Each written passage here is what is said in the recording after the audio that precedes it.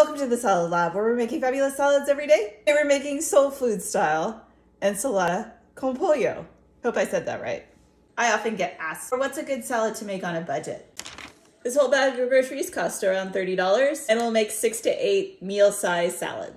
We have a box of spring mix, plantains for plantain croutons. You're gonna need some olive oil, tomatoes, avocados, onion and garlic, lemon, and chicken thighs. This isn't sponsored, but we're gonna experiment. If north of San Francisco, you gotta stop at Sol Food. I'm gonna make this in a beaker because this dressing will last you all week. Cup of extra virgin olive oil, and then you wanna saute a tablespoon of crushed garlic until it becomes almost translucent. Quarter cup of fresh squeezed lemon juice.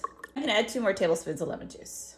And almost a tablespoon of salt. There's more salt than garlic in this dressing. And whisk. The base is spring mix.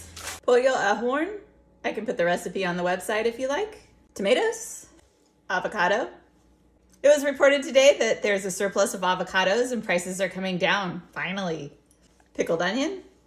Green plantain croutons. Lemon garlic dressing. Toss. I also like to have it with a little bit of their hot pepper sauce. And I'm having it with a té Hidalgo. It's a combination of tea, orange juice, and mango juice. Enjoy!